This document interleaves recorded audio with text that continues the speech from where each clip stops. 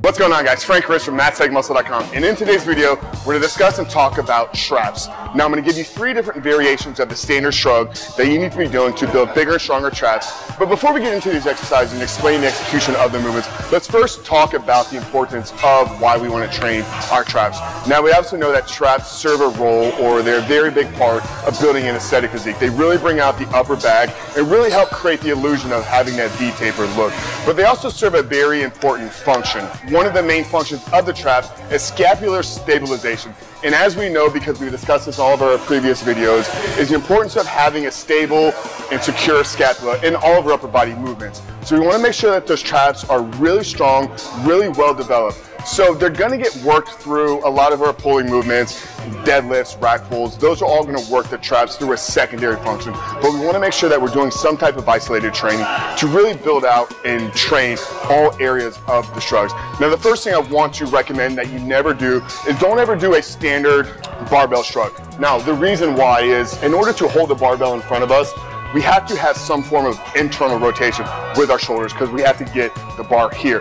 Now, most people don't have the internal rotation ability to hold a bar and not roll their shoulders forward. So that's the first thing I want to make sure you're never doing is don't ever do a standard barbell shrug because you're getting this internal rotation and basically you're having to round out your shoulders and you're overextending your trap muscle to get that. So if you're going to be doing any type of shrug movement, make sure you're doing it with a dumbbell, trap bar, or some type of shrug machine to where your hands are at, at your side. And as you can see here in this movement that I'm doing, is my hands are by my side, and as I'm shrugging up, my, my hands are going to want to come out slightly. That's why we want to be using dumbbells when we're doing our, our standard shrugs because we get that free range of motion.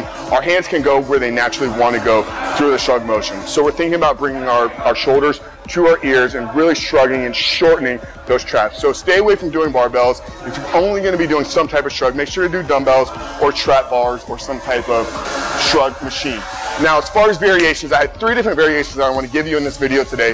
The first one is going to be a chest supported shrug. So here we have a high, high incline. We're thinking about driving our chest into the pad. Now, what this is enabling us to do is really get the trap, the upper trap involved. So the weight is out in front of us. We're really thinking about bringing our shoulder blades back together behind us. This is really shortening and bringing those traps closer together, really getting that peak peak contraction, putting a lot of tension and load through the upper traps. So this would be your first variation. Like I said, it's a high, high incline, really thinking about bringing the weight behind us, almost as if we're squeezing behind our ears or squeezing our shoulder blades together behind us.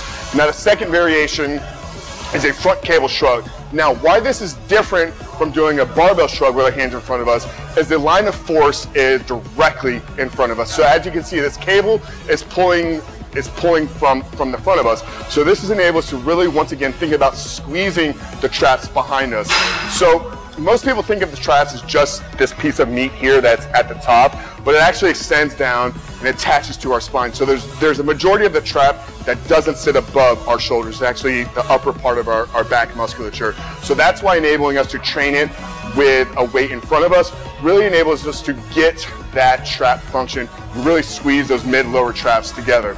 Now the third variation is gonna be a side cable shrug. Now this is a great option to just kind of work it in a shortened range, but the fibers run in a horizontal direction. So by having the weight coming from the side of us, we're really working with a natural muscle fiber. So it's really really once again getting those muscles shortened, getting them contracted. I would say probably do two of them. You always want to get that side one in there, but pick either the, the chest supported or the front cable shrug and work maybe three to four sets of each one. And this would be something that you'd want to do at the end of a back workout. Um, you could do it on an accessory day or something where you're really just thinking about getting some, some additional work through the stress. Obviously, like I said at the beginning of the video, they're still going to get work through deadlifts. They're still going to get work through rack pulls, uh, farmer's carries, any type of you know upper back work that you're doing. But if you really are struggling or really want to like I said, bring those traps up because you want to make sure that they are a strong, secure muscle to really help with all that scapular stabilization. So give these ones a run, guys. I really hope you found value in this video. If you did, make sure to give it a video thumbs up. I mean, if you're new to this channel, make sure to subscribe to the channel as we are releasing newer videos every single week. And I have a free gift I want to give you today. We have one free week of our Matt Muscle program that we're giving away. All you gotta do is hit the link in the description box, www.masstheticmuscle.com slash free week. Any email address, we're gonna send the workouts over to you guys right away. Once again, guys, really thanks for tuning in, and I'll talk to you soon.